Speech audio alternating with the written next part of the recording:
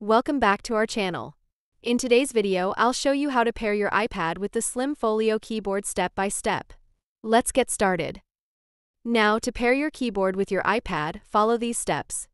Place the Slim Folio in the typing position. On the new iPad, ensure Bluetooth is turned on. Go to Settings then Bluetooth then On. Press and hold the Bluetooth Connect button on the Slim Folio for 2 seconds until the status light blinks blue.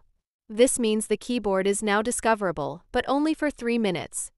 On the new iPad, select Slim Folio from the device's menu. If a PIN is requested, enter it using the Slim Folio keyboard. Once the connection is successful, the status light will turn solid blue briefly, then turn off. If you ever have issues connecting, make sure the keyboard is in discoverable mode by holding the Bluetooth button for 2 seconds. And always check if the batteries need replacing if the status light turns red. Thanks for watching. I hope this guide was helpful. If you enjoyed this video, don't forget to give it a thumbs up, subscribe for more tech tips, and leave a comment if you have any questions. See you in the next video.